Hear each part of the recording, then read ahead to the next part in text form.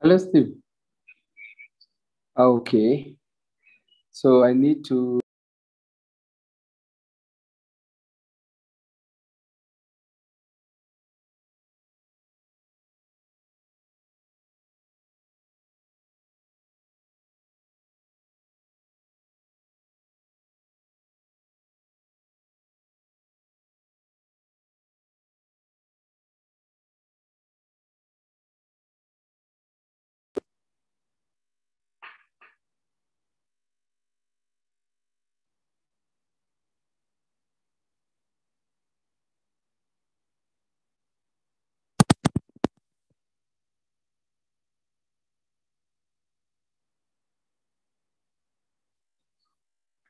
Hello, good afternoon, everyone. Good afternoon. Good afternoon, everyone. You can hear me? Yes, we can hear you. Good afternoon. Yes, good afternoon to you. Uh, okay, thank you. Um, I want to take this opportunity to welcome you to our webinar on positive parenting this afternoon. And this webinar is hosted by the Central Region NACADA office. And we have a guest facilitator who will take us through the presentations, who is uh, Professor Peter Wanderi from Mount Kenya University. He's in charge of uh, corporate services at the university. Uh, but for us to agree on how to go about it before we start the presentation, I want maybe to give a highlight of uh, why we have found it important to run this webinar.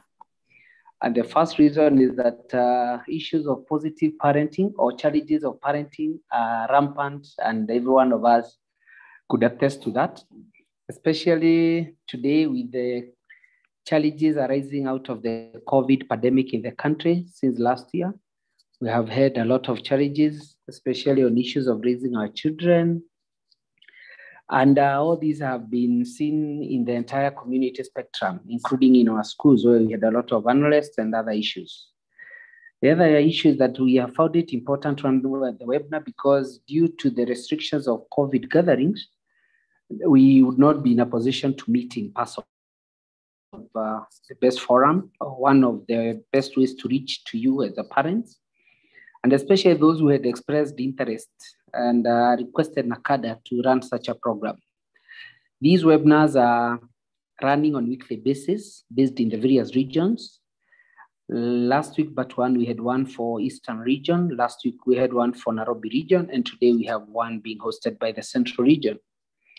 And also about our housekeeping is that we had requested that you send your questions in advance so that at the end of the presentations, we'll have an opportunity to respond to the questions.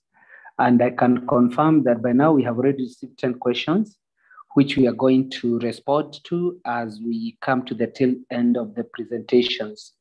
In case of an, an urgent question, you can drop it through the box, the inbox in the in the on the on the on the Zoom, and I'm sure we'll uh, respond to it at the end. And I think uh, without much ado, I want to invite and present to you uh, Professor Peter Wanderi from Mount Kenya University to start us off in this program. Uh, maybe I didn't introduce myself. My name is Amos Warui, and I'm the regional manager, Central Region. And uh, we welcome you and we look forward to a very enlightening and informative presentations. Prof, over to you. Uh, thank you very much, Amos. I hope I am clear.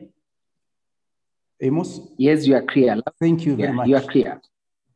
I am here as a friend to NACADA, and I am the principal corporate services at Mount Kenya University, but my friendship to NACADA finds me here this afternoon. And I'm very happy to Amos and to NACADA for this invitation and for this opportunity uh, because we need to exchange ideas, to exchange views as parents, not because any one of us is better than the other one, but because we need to continue assisting each other to improve on what we are doing. So in this case, I would wish to go to the introduction and say that I would start by explaining what is um, maybe next, move to the next slide. What is parenting? And we also look at the justification. Uh, Amos, you are controlling the slides, so kindly move to the next slide. Okay, Prof. Yes.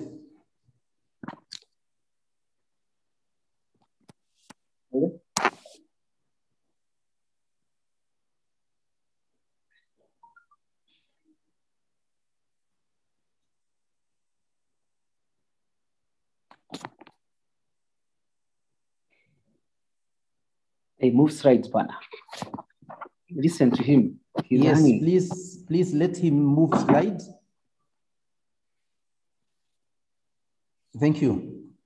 And so we look at what is parenting as a definition and then a justification for attending this session.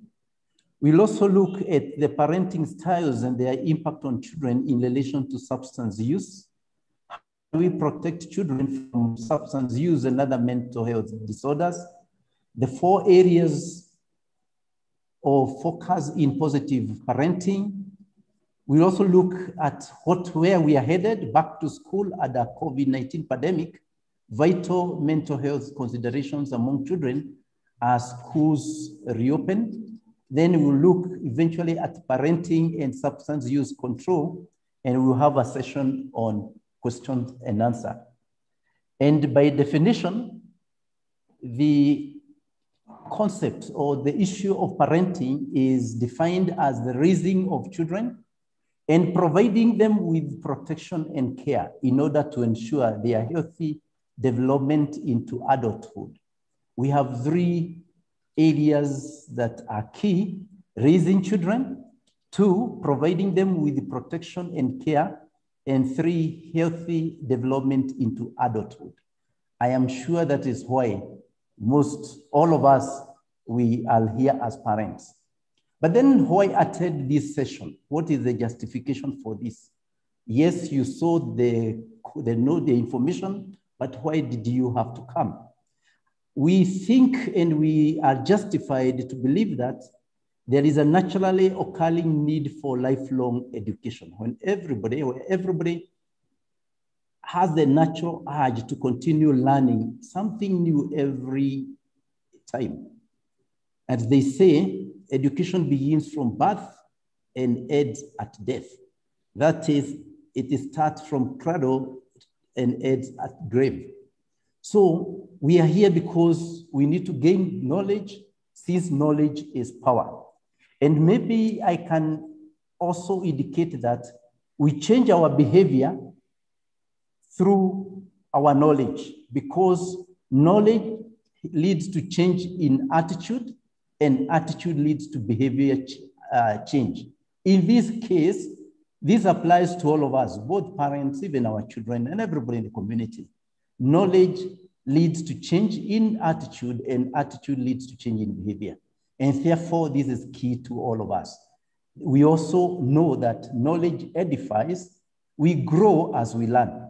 So karibuni, karibuni sana, and I believe this is going to be a good session of learning and helping each other to learn. So we start by parenting styles and their impact on children. In other words, how can we as parents, how can our behavior put our children to risk, at risk of substance abuse? Here we are going to look at how parenting can be, and we know very well that parenting can be a very intensely rewarding experience, although it is extremely demanding. And some of us come at it without any preparation. That's the reality. And therefore, parents have a role to nurture and keep children safe, healthy, and also help them to grow into independent and well-adjusted adults. As parents, we all aspire to bring up the best family, despite the numerous limitations and challenges encountered. Admittedly, we never had any formal training on positive parenthood. And so trial and error processes, these are common experiences here and there. And therefore there is need for this kind of a discussion. As we move on, we request that everybody let us reflect on our own parenting style as we go through the next few slides and try to see where we fall and see, therefore, how we can adjust if need be. This is on parent styles of parenting. The first one to be presented is authoritarian parents. These are dictatorial and they are domineering parents. They place strict and firm limits and controls on children. They use stern discipline and employ punishment to control children's behavior. They use power to control, to, they use power to control and order children, allowing little verbal exchange. Rarely do they allow children the opportunity to be themselves. The issue of obedience is the mantra in the home. And the focus here is obedience, obedience, obedience. Impact. They tend to lose ability to influence their children, although through reasoned discussions or to help them develop good thinking skills. You know, thinking is a skill, and these children may be denied the opportunity to develop thinking skills. We continue on authoritarian talents. Their children may become rebellious, aggressive, and dependent on their parents. The children may possess low self-esteem, may appear insecure, and exhibit more behavioral problems. They are less likely to develop internalized values that equip them to make wise decisions. Unfortunately, and this is now key, that these children have a very high, they have a very high chance of initiating substance use. That is authoritarian parent. The second style is the authoritative parent. And let us note the difference between authoritarian and authoritative. The authoritative parent is knowledgeable and reliable. These parents encourage children to be independent, but still limit and control their actions, that the children's actions. The authoritative parents support children to develop according to their maturity, that is to the children's maturity level. And they set behavior boundaries with children. The authoritative parents place high maturity demands on their children through having open discussions, encouraging children to obey using reason. The focus here is setting clear expectations. And what will be the impact? The impact is children are encouraged to make decisions and learn from mistakes. What about children? The children here are happy they develop good self-esteem, interact well with peers, and have better mental health.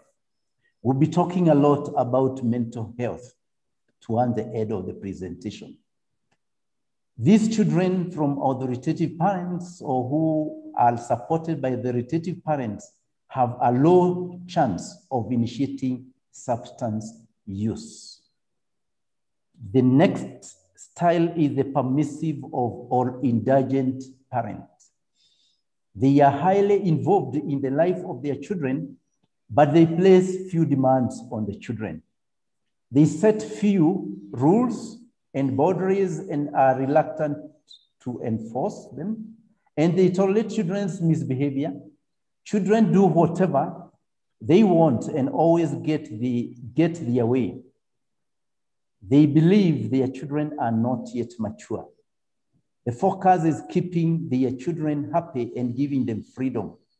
The impact is by setting no boundaries, they predispose their children to alcohol, substance intake, drug use at an early age. Children have little self-control, have a hard time following rules, and possess egocentric tendencies. They tend to love themselves and over and over, they want to think about themselves.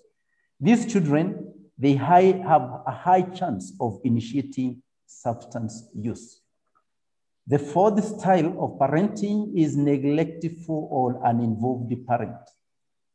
This parent or the parents are mostly involved and involved in the child's life.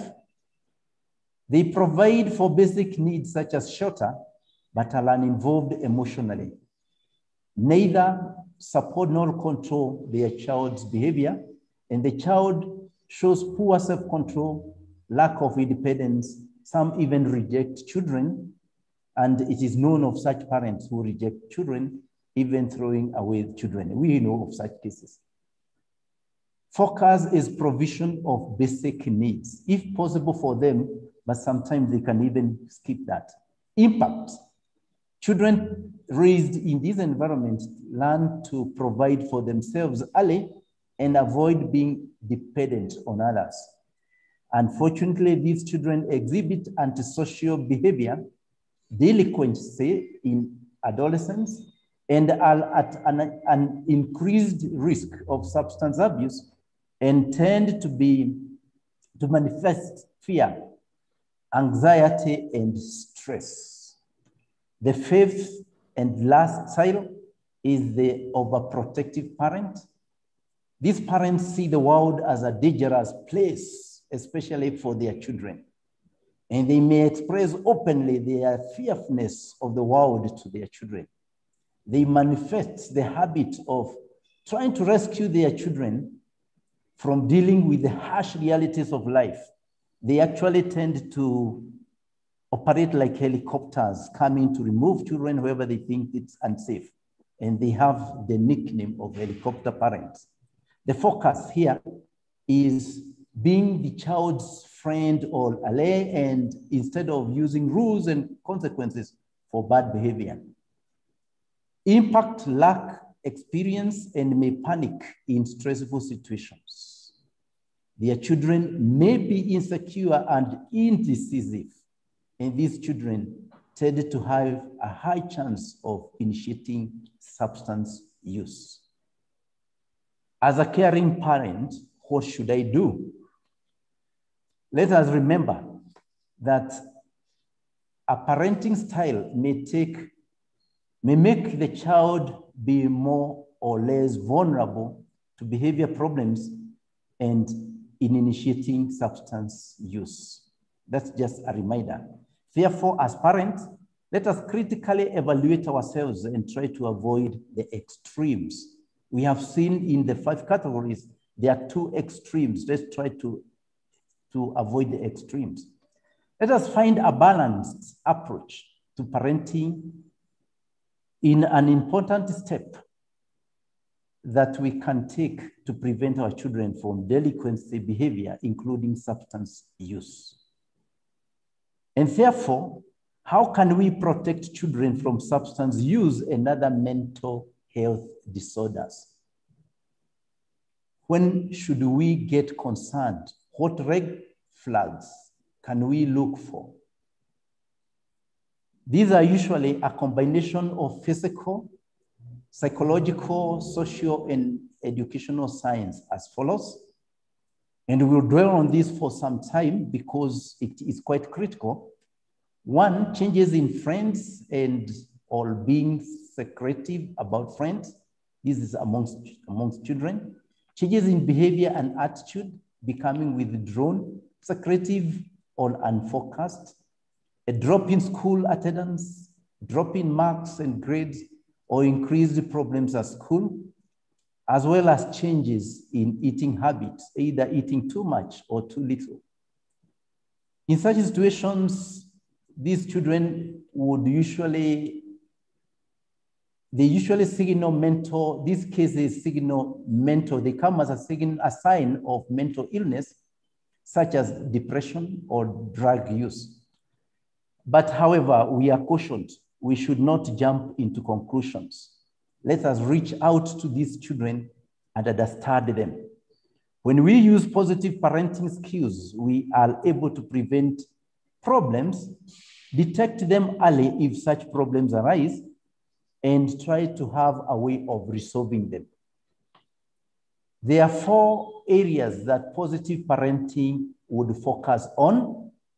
One is being responsive, where we connect with our children regularly through listening to them, trying to understand them, by talking to each other and asking questions. Also, by being responsive, we will show interest in what is happening amongst our children and show concern for their well-being. We also find out, try to find out their views and their feelings and share our views too. The second of the four areas is to provide structure. We have to establish clear rules, communicate rules and consequences. The structure issue routines as much as possible is needed, which allows involvement in various activities, including the household, household, household issues and tasks and other family responsibilities. We should also establish rituals like eating together. That is good, but doesn't happen all the time. It's not possible all the time. So where possible, let it happen.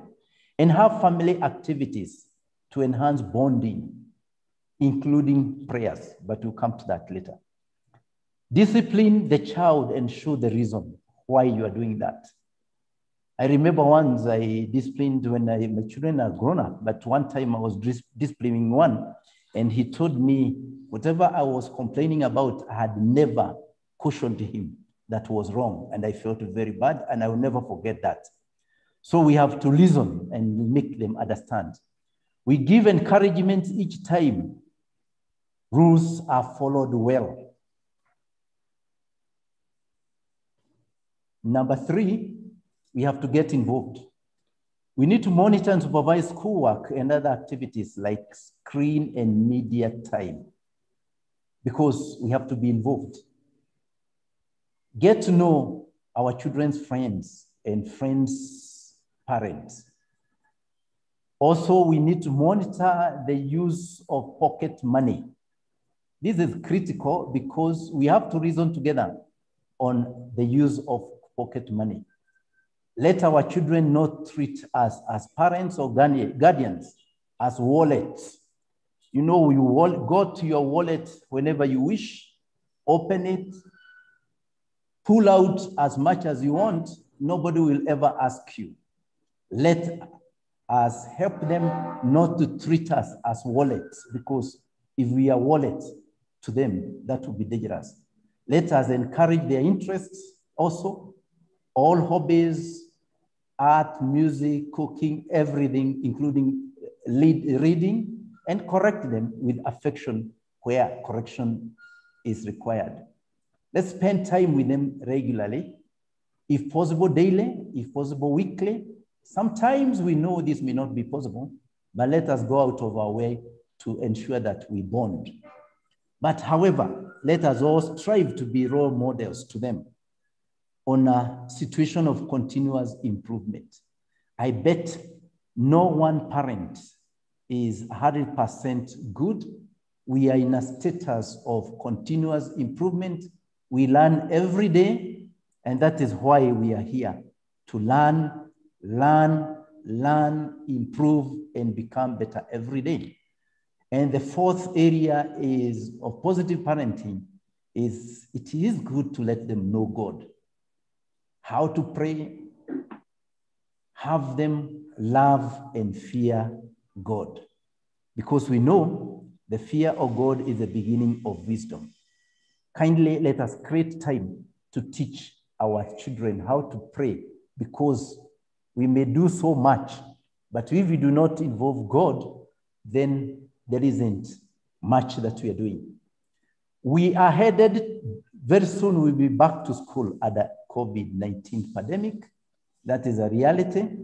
What will happen? What are the vital mental health considerations amongst our children as schools reopen that we need to discuss? First of all, parents have been blamed for increased cases of indiscipline in the schools. This is a big debate. Tolerating improper behavior in their children, treating their children like eggs instead of tough love. These are reports that are known and people discuss about them. But it's also expected that for our children, as they go to school, we are aware that they need to play. So the question is, will there be physical activities? We are very sure that we may not be able to keep a child away from physical activities, but the regulation is no physical activities. How do we go about that? Social distancing.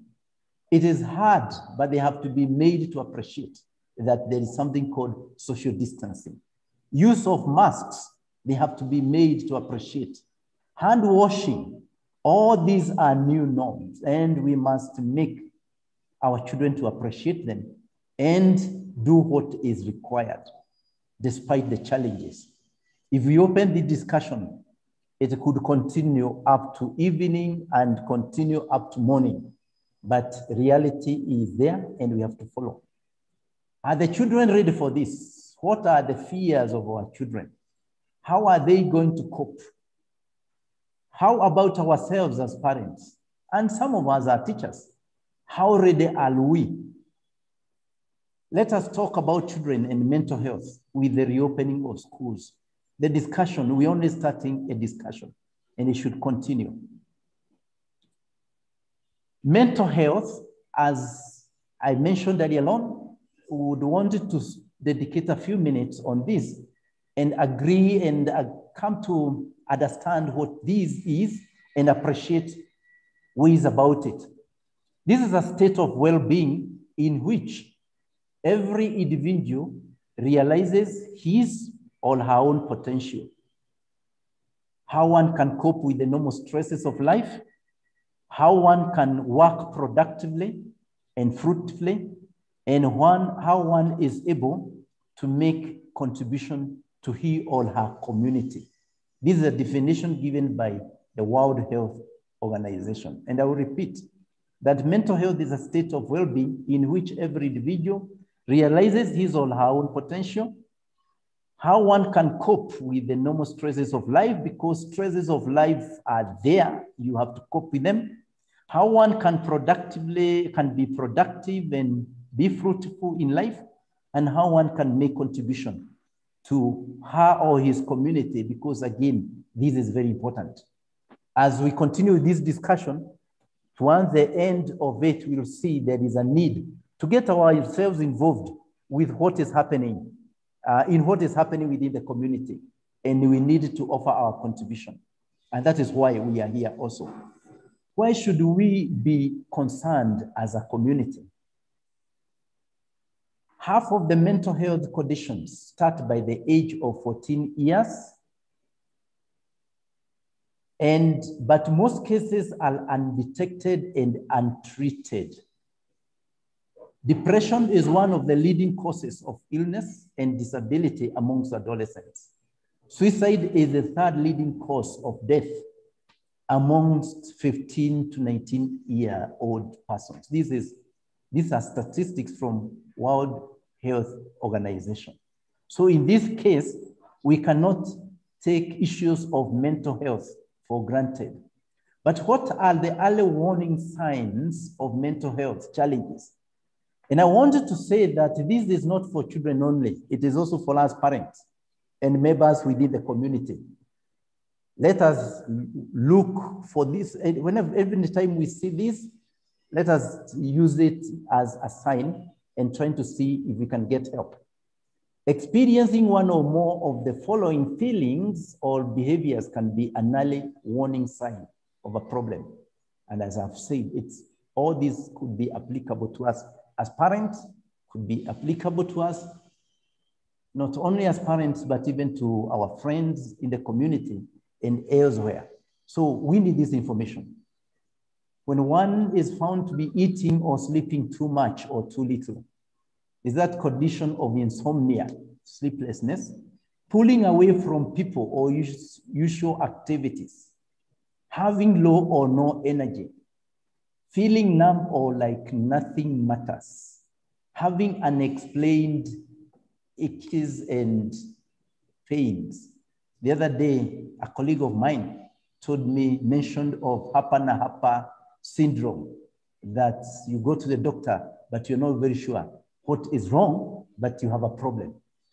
This is the problem that you're talking about. Feeling helpless or hopeless, feeling unusually confused, forgetful, on edge, angry, upset, worried, or scared, yelling or fighting with family and friends, experiencing severe mood swings that cause problems in relationships, having persistent thoughts and memories that one can't get out of.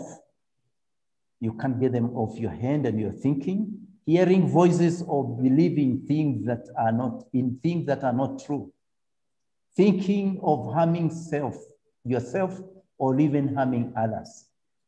Inability to perform daily tasks like taking care of children, getting to work, or getting to school for children.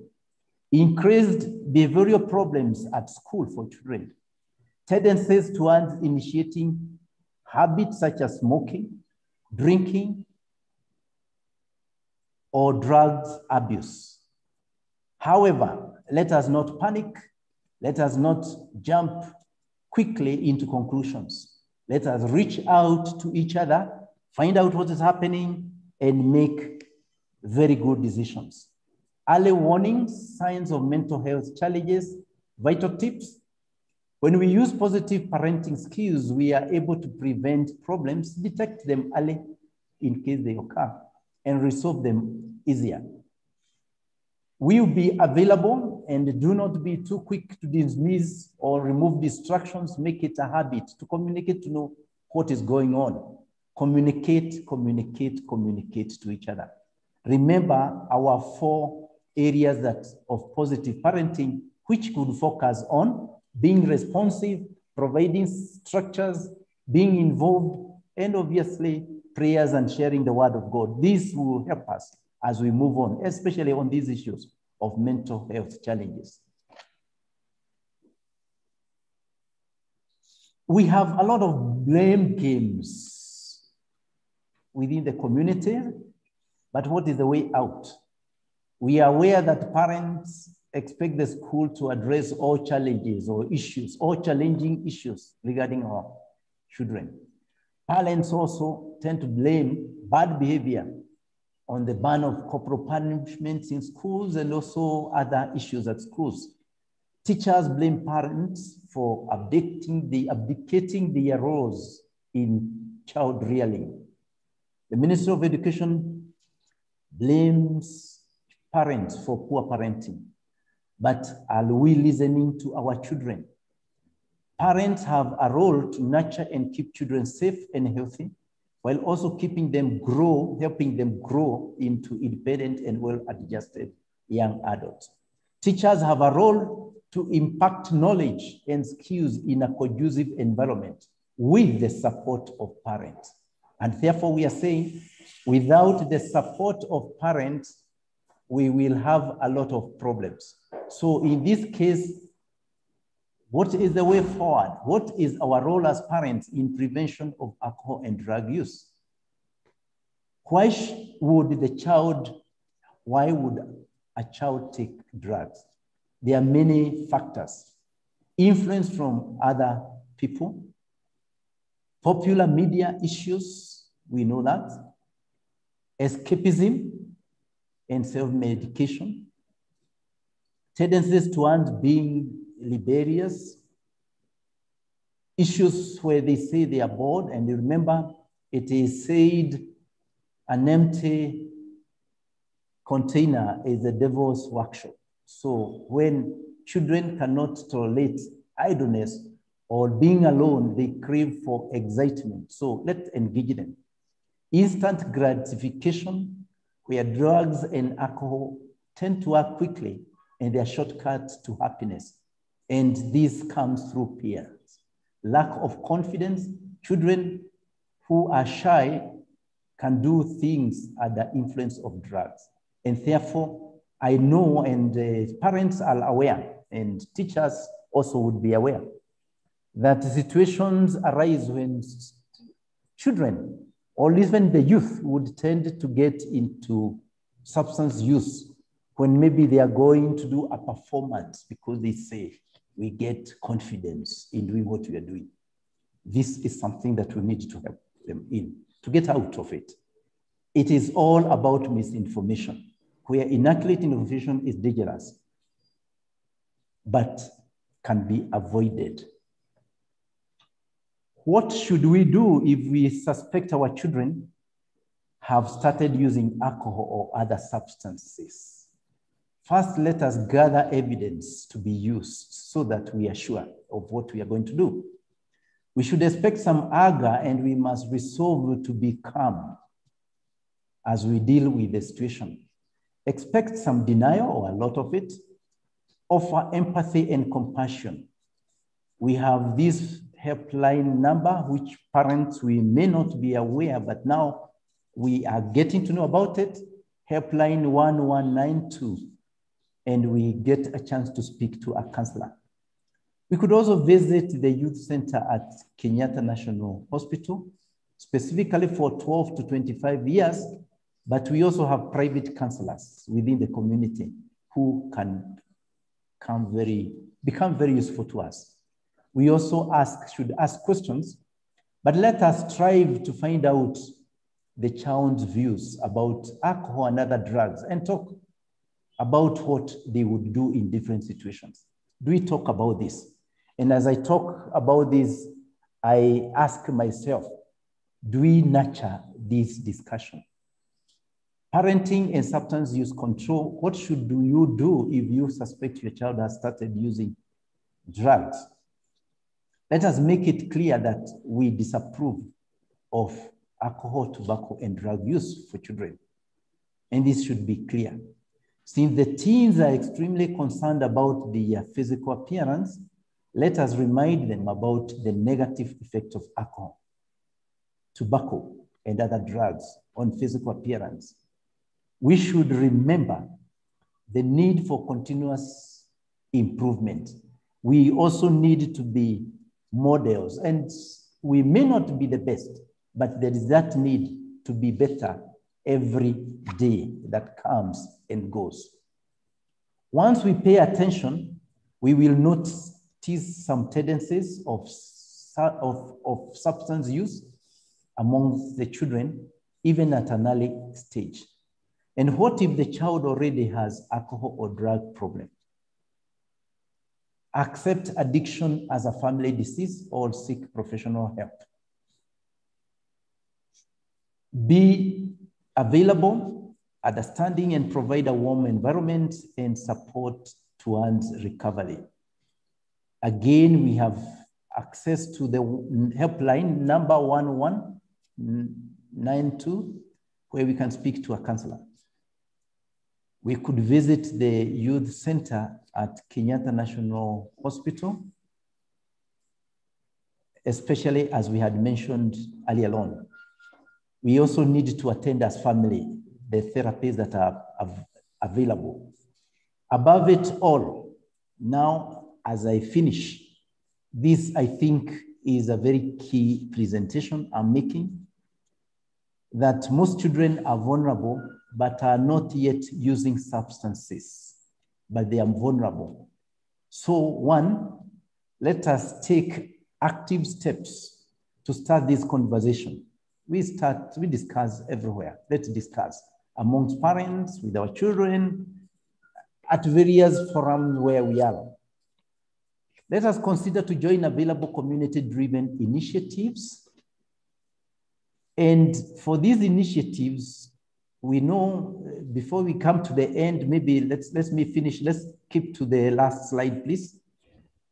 On these initiatives, we know the community is every day waking up to the reality of drugs challenge within the community, and different persons are coming together to offer support. Let us join hands. Let us move on and be part of the game. But let us also remember that NACADA team is ever available. And as I finish, the issue of being role models to our children.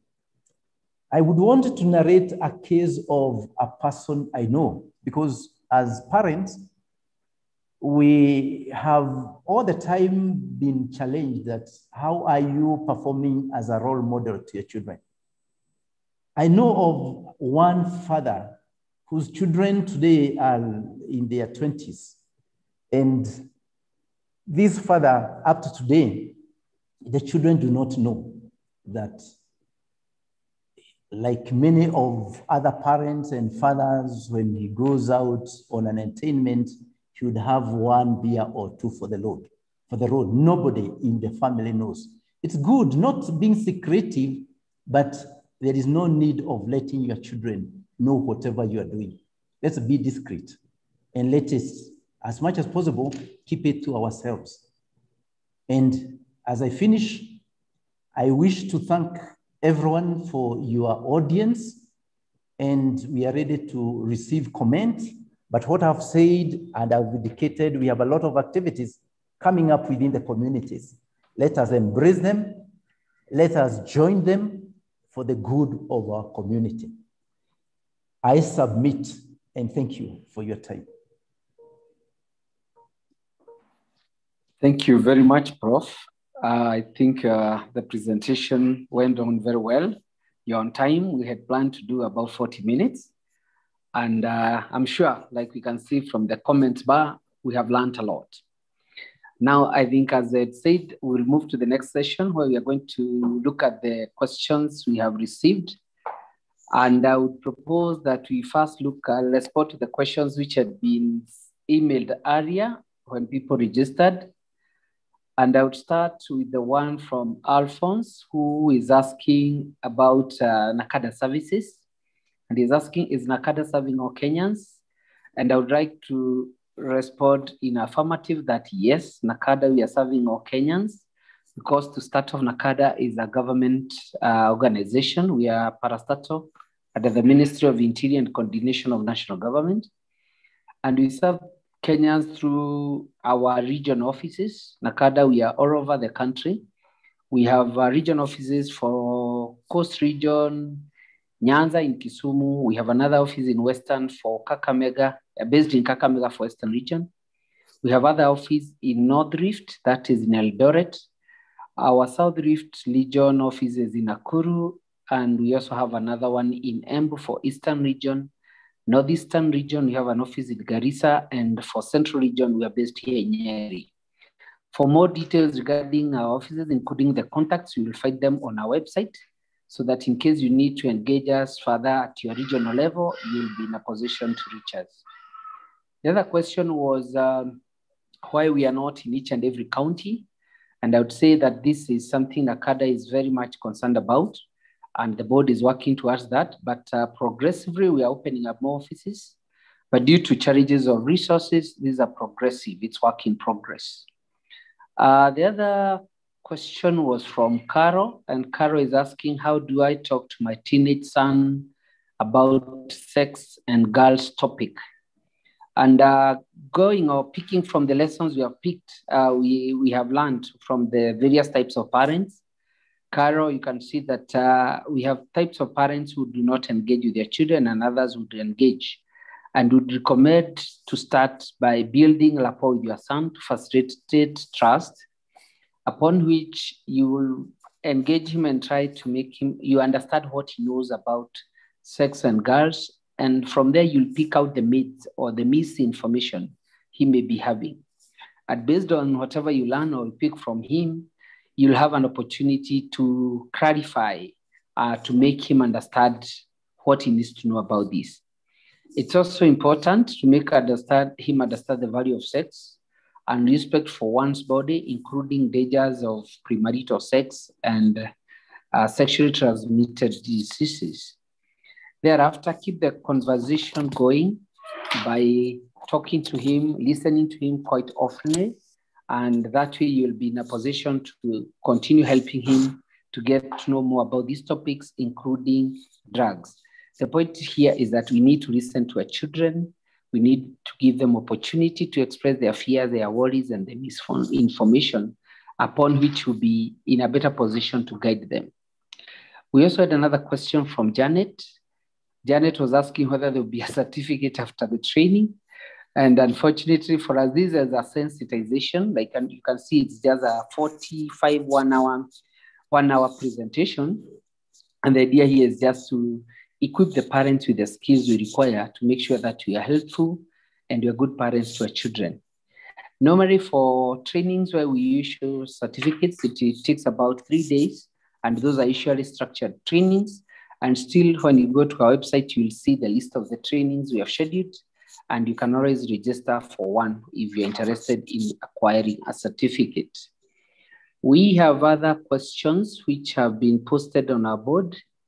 Um, we have talked about this. A Frederick Ruby was asking, how can one protect children from bad company groups? Remember, we said as a parent, you need to know the friends of your children. You need to know whom they relate with. You even need to know their parents' friends so that this way you will be in a position to guide them the kind of friends to keep and the friends who are not helpful to him. Then uh, Harrison Kirui Kipkembo is asking uh, Prof to repeat on the issue of pocket money given to children. I think there's a point where you're talking that some parents, uh, they, they, don't care uh, what happens in their children. They provide everything. I don't know, Prof, whether you want to mention something about that? Uh, yes, Prof, I you can think, hear me? Yes, I do. I do. I do. I, I can hear you. And it is just a matter, just, but let me, and I'll continue saying that none of us is perfect. None of us is that, you know, very, very good model that we could think about. It's a matter of improving and learning each day at a time. But now here we are saying, what is the issue between ourselves and our money and our children? What, how do we relate myself, my money, and my children? So this is, I think, a three-point level where I suppose, and this is what the message we are getting, let, uh, not, let us not allow the children to, be, to make us a wallet. You know, as I mentioned, you go to your wallet and the wallet do not ask questions. You remove everything, wallet will allow you. You remove little, so entertain a discussion. Sometimes I could even confess that um, there could be a debate. How much of this discussion is enough? Because you can again be extreme in the discussion, but we've said that moderate aspect is enough, is good enough, where you do not need to be. Let's not try to be too mean again to our children in the excuse of not being a wallet but somewhere in between. And, and the discussion cannot end here, Amos, and I was saying that we have community-based initiatives that are coming up every day, which are meant to help parents. And I am, if, if, if I could say that even at the university level, at Mount Kenya University, we are exploring possibilities of coming up with such a forum. And once we get it, it is all meant for the good of the community. And the discussion continues. Yes. Thank you. Thank you, Prof, for that clarification. And I think the point to take home here is that uh, we need to make our children account for whatever true resources we give them. Because if we are not careful, they might end up using those resources in terms of money to buy these products and uh, substances. Then um, there's another one from Vincent Mambo. He's asking, uh, is noting that of late there has been increased cases of murder among lovers. Can such be explained as an effect of parenting styles? I would say yes and no. depending with how you look at it, because there are so many other factors which look at cause this. Remember, I talked about the issues of mental health, because normally when somebody is doing such acts, you are not in your normal mental state of mind. So there are so many other factors, including the COVID, the stress. A lot of people have lost their jobs. There are so many stress levels have gone up, and uh, we're having so many challenges. So that yeah, it could be among many other factors. Uh, then uh, Vincent is also asking to what extent does taking children to boarding school uh, contribute to, I'm losing you. Uh, sorry. Yes, I think it, he was asking about, yeah, taking children to boarding school at a very young age affect positive parenting. I'm not an expert in this. I don't know whether Susan is, uh, Susan can hear me. Susan, you can comment on this? Susan Maua? Uh, hi, I've actually, I've actually commented, I've actually commented that. Uh, oh yes, yeah. It's taking, taking a child to school, especially when they are uh, still very young, affects bonding. You know, on a day-to-day basis, it, it actually uh, drifts the parent with the child uh, too far away. So it means that a child who, you know, is still young should really not be taken to boarding school. We have situations where parents take children to boarding school at class one, seriously. That that is, is even a violation for, uh, for that child's right. Yeah, so when they are older, then um, it, it, makes more sense to actually uh, help them. But in addition to that, there is also the aspect of preparing this child uh, to go to, to such kind of environments and also what kind of connections are you going to have? You know, there are parents, as the presenter mentioned, who you, you know, you even dump the child in school. Yeah. Sometimes we take them to boarding school so that we don't take care of them. It's, it's like they have become a burden. And children also learn mm-hmm. over time. And sometimes, if you listen to even children in boarding school, you know, they even know, um, you know, my parent, it's a visiting day, but as a parent, you don't even get there in good time. Yeah, it starts from two to four, and you are known as a parent that you are a late comer. So you're going to get there when it is half an hour to the end. And I've had children actually talk. I said, ah, I don't need to bother looking at the gate. My parents, they, my parents don't get here on time. And sure enough, a few minutes to the end, that is when you hop in. That's already sure. the uh, neglect on the part of the child that eventually you actually drift apart. Yeah. But you know, having uh, visits and also when they, they come back home, you know, spend more time. But again, we see that when they are home, we are looking for tuition and, you know, something that keeps drifting them away from us. Yeah. Thank you. Thank, Thank you, you, Susan, for that clarification and the, and the other answers you have provided on the Q&A box. And now I want to also invite uh, our counselor, Catherine Kimui, to take up some questions on issues of treatment and rehabilitation. Catherine, over to you. Thank you, Mr. Arue. Can you hear me? Yes, we can hear you. Okay, we had a question from Jane. Jane has given us- raise her voice. She's a little too low your, your volume, increase your volume and your voice. Okay. We had a, two, a question from Jane. Jane had given us two scenarios of relapse cases.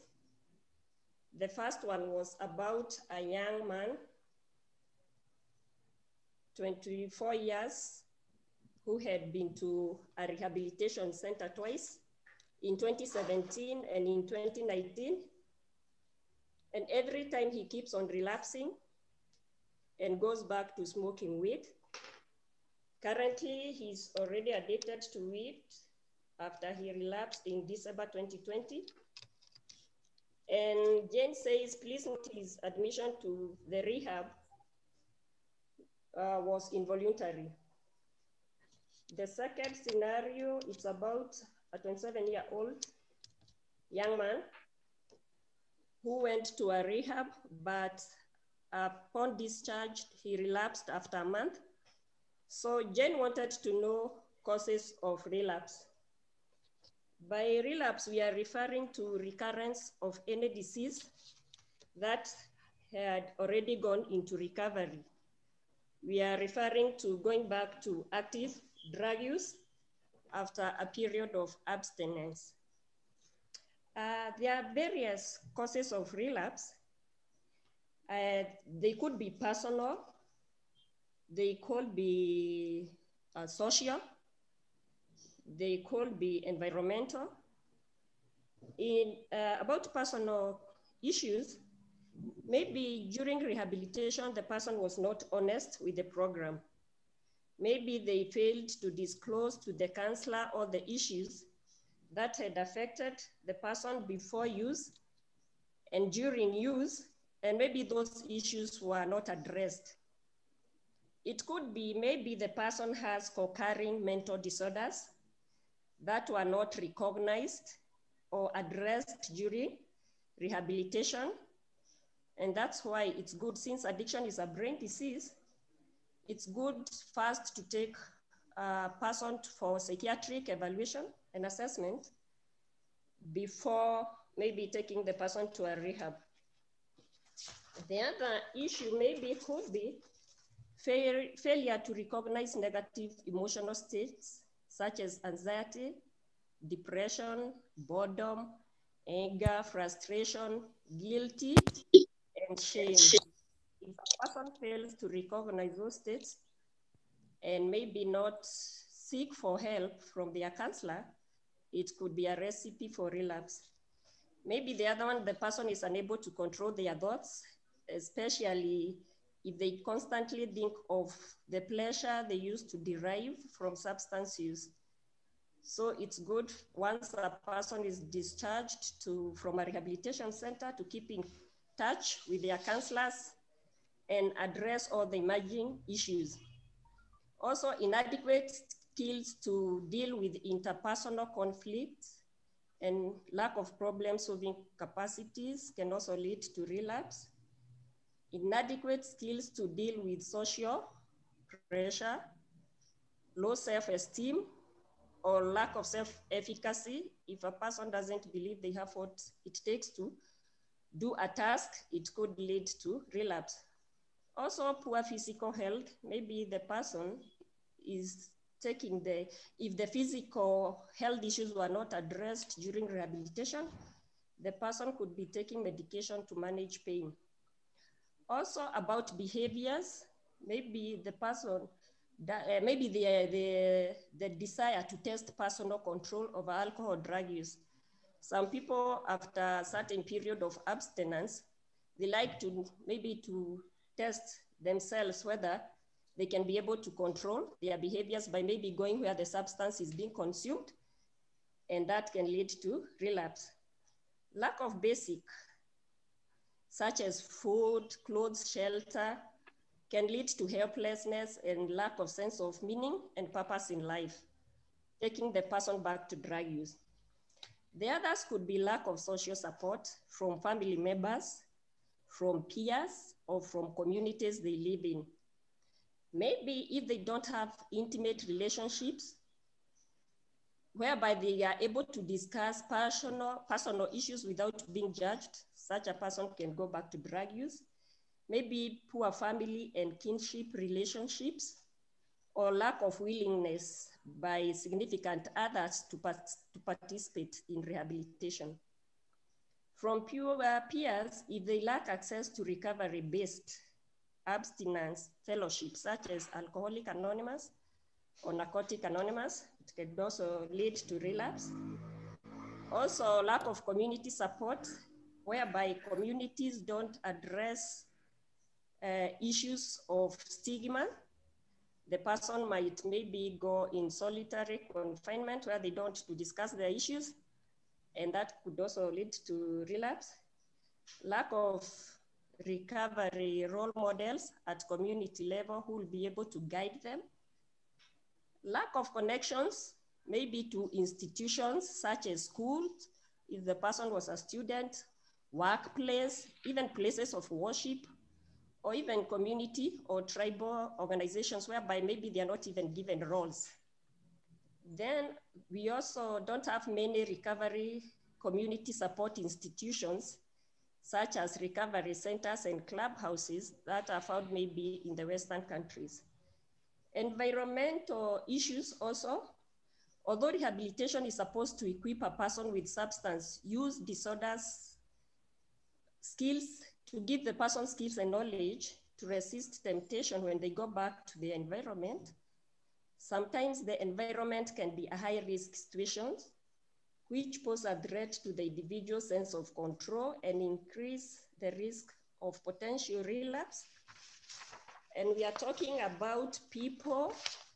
They are people they should stop associating with, especially those who are actively using substances. We are also talking of places. There are places they should avoid going to, especially where the places where drugs are being used. Also events such as special occasions and celebrations where substances are being consumed should be avoided, especially during the initial stages of recovery. Uh, Again, maybe it could also be the issue of the rehabilitation facility. Maybe the facility lacked a safe and a conducive environment for recovery. It could also be maybe there were unqualified personnel. Maybe the program uh, uh, at, in the rehab didn't holistic, holistically address the biological, the psychological, the sociological, and spiritual issues that affected the two gentlemen we are talking about. Uh, and but these causes of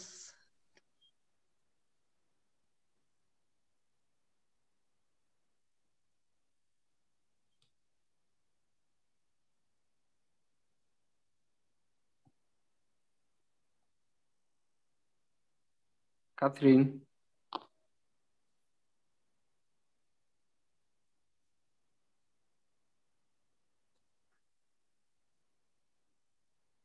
We are losing you.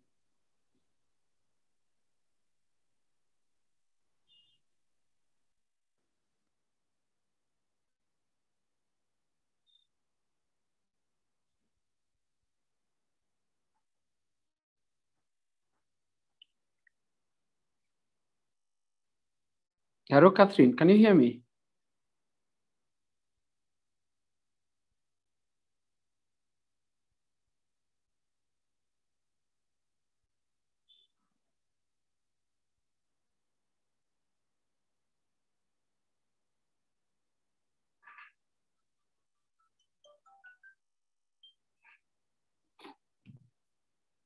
Hello, Catherine.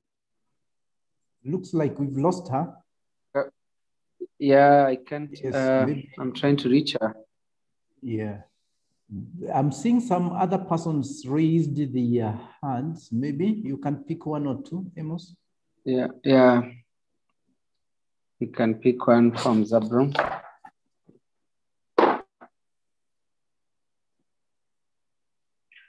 Hello? Hello? Sorry. Si ndio ashindwa ni mimi ama ni mwingine? Mimi niliinua mkono bila kujua.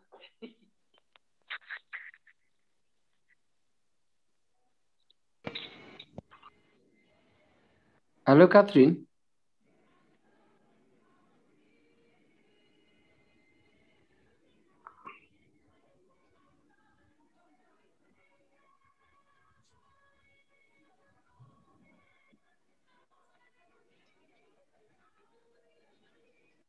We are looking for Catherine, Lawrence had carried up his hand, although now it's down again.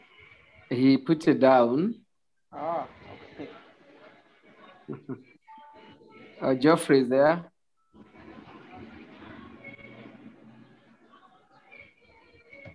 Geoffrey?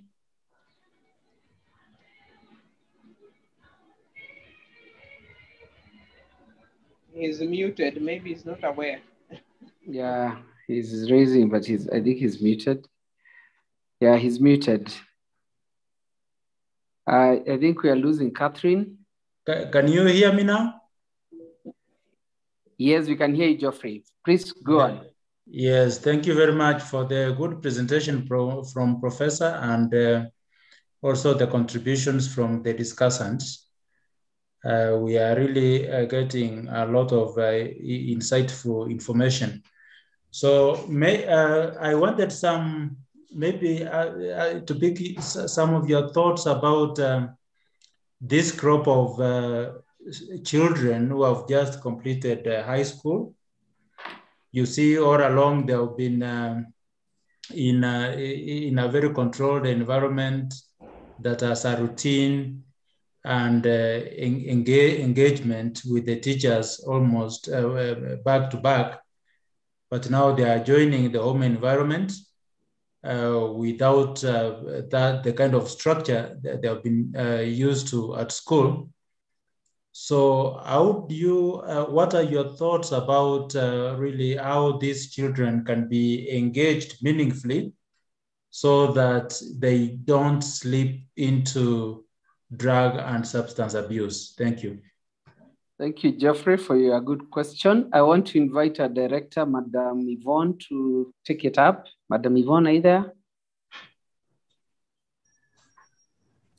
Thank you, Amos.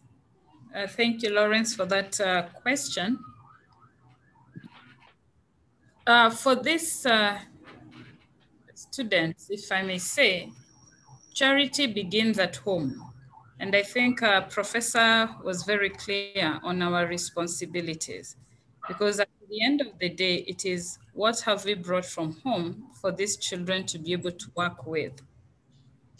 Children are going to be with us now for some time, and uh, parents knew that. We planned for that. So we should also be having plans in the sense that at this time, the KCSE has just concluded today. So how will I engage my child? The community at large has different activities, and we also know there is this uh, repression because of the COVID. It is the parents work with the children to be able to attend to this. So again, it had mentioned before, maybe you could uh, check our website. It has different pamphlets, different booklets for parents to talk to their children. Also, churches have different activities, and this is also where volunteer work comes into play. Parents just have to come in and assist their children. Thank you. Back to you. Thank you. Thank you, Madam uh, Yvonne. Um, I can see we have uh, answered most of the questions on the Q&A board, and our time is uh, catching up with us. I don't know whether there's anyone with a very burning question from the participants before we conclude our presentation for the day. I can see Frederick. Frederick, please bring up your question.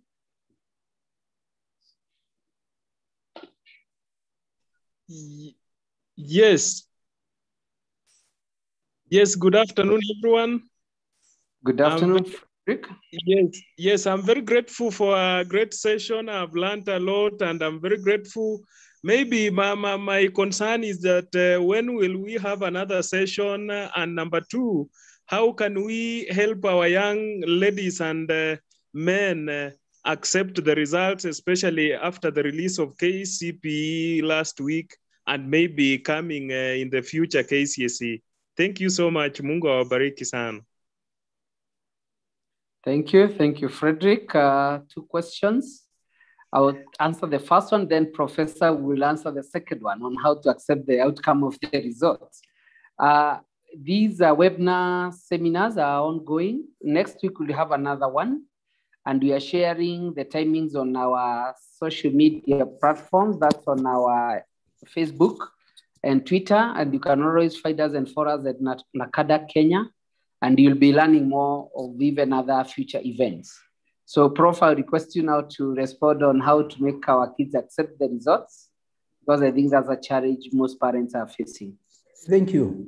And before I do that, let me go back to the issue of discussions. And like the question was asked, uh, how often shall this be availed I suppose there could be a possibility of either doing the way, because nowadays this is the way to go, you could always find some opportunities here and there. The most critical thing is that the people who would want to offer support are not sure whether there will be people who are interested. And now that we are seeing this kind of interest, I, I, I am one person who would be following up on NACADA to help us as a, a community to get such a forum where we could continue discussing various issues that are very critical to us as parents, as youth also, because we have youth amongst us who need discussions, and also as a community in general. Regarding the issue of the examinations, to parents, let us remember this is an examination. We tried to help our children prepare. The examination was done and the results are out. Whatever the results we get, however good, however, however they are, we have to accept it. But let us also remember that this is not the end of life in itself. We still have an opportunity. We have an opportunity to help our children. The results will be good, fine. If they are not good, that is not the end in itself. There are many options of helping our children move on with, our, with their lives and even our par- as, as parents to get involved in helping them be what they want to be. I'm saying this because sometimes we get very sad results here and there, you know, that a parent has done this to the child or the child has done this to himself or herself. I think we need to encourage each other that this is only a result, but not the end of life. We can make it in life, even with the results the way they are. This kind of thinking is very important. It is very important. We need to encourage each other and encourage our children, but also as parents. Let's not put a lot of pressure to our children and make them feel that they have not achieved. They have achieved. And that examination, the way it is, needs to be appreciated. And then we move on. Thank you. Thank you. Thank you, Prof, for that uh, good answer. And parents, like we have been uh, taken through, we need to be in contact with our children. We need to keep on talking to them, being responsive and encouraging them in their phases of life, including bad results. Like Prof is saying, that's not the end of the world. There are so many things you can do with those results, and we need to encourage and show them the big picture so that they don't feel uh, like it is the end of the world and they might end up getting into uh, substance use and other bad behaviors. And I think uh, members, in interest of time, I'm requesting that we come to the end of our presentation and our webinar here. But as we conclude, I want to invite our Director, Public Education and Rehabilitation, Advocacy and Rehabilitation, Madam Yvonne, uh, to make some remarks as she also thanks Prof on her behalf for having graciously agreed to be our, our guest uh, presenter for today's session. Welcome, Madam Yvonne. Thank you so much, uh, Bwana. Uh, first off is to thank all the participants for joining us today and actually staying with us from the beginning to now, and uh, particularly for your active participation. Your questions are very insightful. They help us to even come up with better webinars in future. To you, Professor Wanderi, it is indeed an honor for Professor to take his time off to honor NACADA invites. We do not take it for granted. We're saying thank you very much. And hopefully the next time we invite you, you shall be able to come again. And they're looking forward to working even more together with you and even within your university. Thank you. To the staff Thank of NACADA, thank you so much, Prof. To staff of NACADA, thank you for also joining. For those who are joining us live from YouTube and Facebook, we appreciate so much for your presence. Next week on Friday the 30th, we shall be having another webinar on positive parenting, touching on a different aspect of parenting. Join us when we will be with the North Rift region. Asanteni sana and have a good evening. Thank you. Back to you, Aroy. Thank you very much, Madam Director. And now uh, we're also very grateful to our participants. And unfortunately, I also want to apologize that our slots could not accommodate everyone. I saw within the first five minutes of our webinar, we had already hit our 100 mark. And I hope our IT will work towards expanding so that next time we have as many as possible. At this point, I want to invite anyone among us who is willing and ready to close for us with a word of prayer so that we can uh, uh, finish our presentation. Anyone? Especially our participants. Mercy Njogu. Mercy, I can see Mercy was the first one, and I welcome you to close for us with a word of prayer.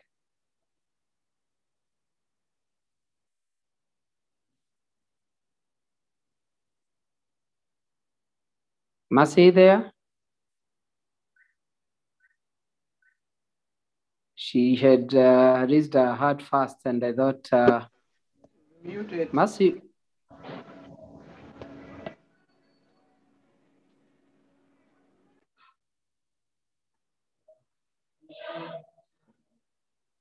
anyone? Mercy, you can hear me? Yes, yes, I can hear you. Please Let us- close for us with a word of Let us pray. Heavenly Father, we give you thanks. We glorify your holy name. You are a wonderful God. Thank you for being with us from morning to this moment. Thank you for also making it possible to be in this meeting. Thank you for us as parents and even participants and even the facilitators, Jehovah King of Glory and even well wishers of the NACADA Jehovah King of Glory. Thank you because we have learned a lot about positive parenting. May you instill us good morals on Jehovah King of Glory that our children may also learn from us so that we may be the best role models to them, O King of Glory. Thank you, Jehovah King of Glory, for everything that you have done, for we have learned a lot, O God Almighty. May you also empower our children with good morals so that as they live, even when we are with them and even without them, oh God Almighty, when they are alone, Jehovah King of Glory, they may follow the rules and regulations always given by the parents, oh God Almighty. We give thanks unto thee, knowing that you will guide us and guide them in everything. In Jesus' mighty name, we pray, believe, and trust. Amen. Amen. Amen. Amen. Amen. Amen. And thank you, everyone. And uh, we invite you to join us once again on Friday uh, in the webinar as it has been advised. We also advise you and uh, invite you to visit our website where we have a lot of information, a lot of EIC materials, and also to make use of our 1192 toll free number where we have uh, online counselors who can help you in some of the issues we are sharing here. Let's continue the debate and let's also share among our social circles, among our parents and uh, ourselves as parents, our friends, and even our children. Thank you very much and God bless you all. Thank you.